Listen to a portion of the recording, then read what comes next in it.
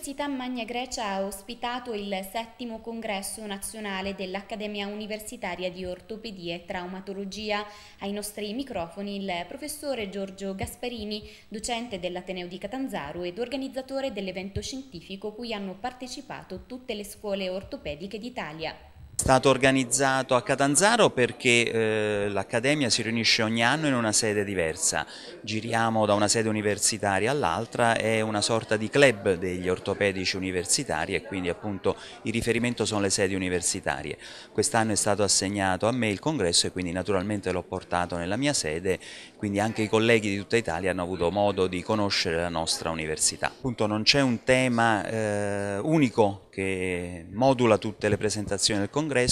ma è proprio una platea in cui tutti i colleghi possono portare i contributi più recenti sugli argomenti su cui stanno lavorando.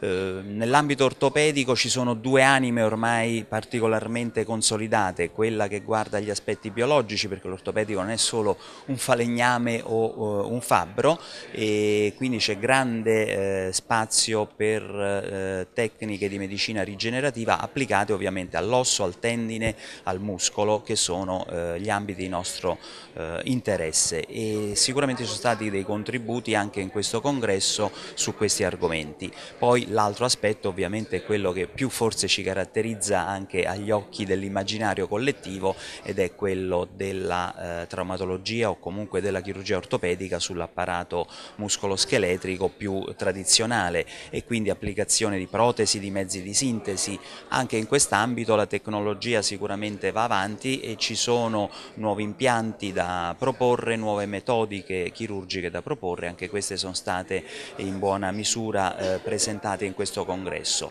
ma anche, e questo va sottolineato perché ricerca non vuol dire solo guardare avanti in una corsa all'infinito verso eh, un qualche cosa di cui però poi non si verifica l'effettiva bontà, l'effettiva qualità di vita che poi hanno i pazienti in seguito a un intervento. Ecco, anche numerose, numerose casistiche sono state presentate rispetto a tecniche che ormai conosciamo da 10, 15, 20 anni, proprio per verificare a distanza di tempo congruo effettivamente la eh, qualità di vita dei pazienti e il risultato non solo in termini immediati.